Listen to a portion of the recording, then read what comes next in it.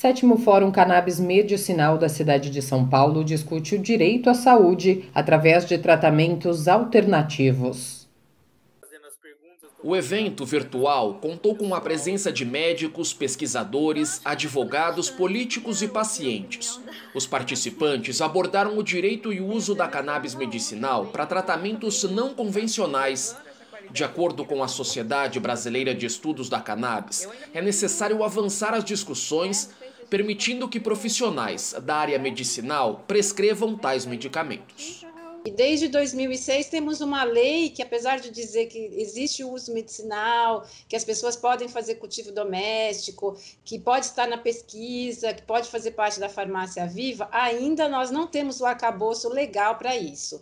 A ativista Soninha Francini participou da abertura do fórum ela defende o uso irrestrito da cannabis medicinal para qualquer tipo de tratamento, entendendo ser importante expandir os meios para a prescrição.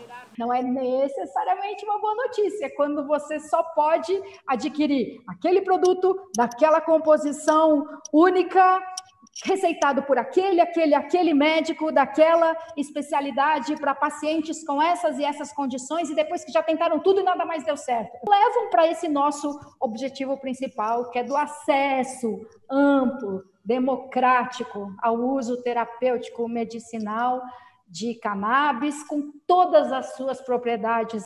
A primeira mesa do fórum sobre cannabis medicinal colocou em pauta a cannabis e a qualidade de vida. Foram vários depoimentos de pessoas que necessitam do uso terapêutico do medicamento para viver melhor. O exemplo da minha mãe, com que ela é um tumor cerebral, uma coisa muito grave, mas rapidamente perceberam uma melhora na qualidade do sono, diminuição das dores. Tem muita gente que se trata aqui dentro de casa e todo mundo é, né? Meu pai com Alzheimer, eu com leucemia, né? Então eu tenho, tenho meu tratamento contínuo também para levar de uma melhor qualidade de vida, que já entra em tudo isso. Minha cachorra, uma que tinha caldequina, tem caldequina, né? Que é uma, uma coisa que quando você chega para um veterinário e fala tem caldequina, tem que operar. Com quatro dias dando o olhinho ali, ela já começou a voltar a andar. O espectro jurídico do uso da cannabis também ocupou espaço no debate. Esta advogada enxerga a necessidade de mudar um conceito enraizado pela sociedade devido à ausência de uma legislação. Modificar o pensamento dessas pessoas que estão no nosso legislativo e no nosso judiciário. A educação.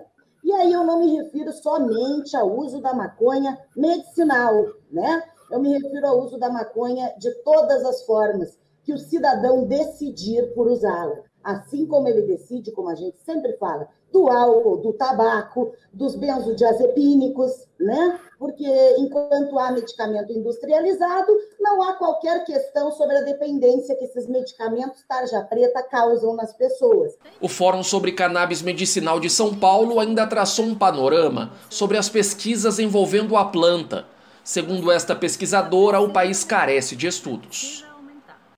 O problema é como é que a gente vai fazer pesquisa num país em que a gente não tem isso ainda é, permitido e regulamentado. Né? Então, o, você tem o argumento de que faltam pesquisas, mas também não, não nos dão é, condições de fazer pesquisa. E pesquisa é uma coisa extremamente cara. Esta ativista conclui que é preciso normalizar o uso da cannabis para fins medicinais, como qualquer tratamento que traz benefícios terapêuticos. É preciso ter uma regulamentação, a gente precisa ter uma normalização do tratamento que a gente faz. As pessoas precisam respeitar como uma coisa normal, como qualquer outra medicação, né? Como tratamento médico.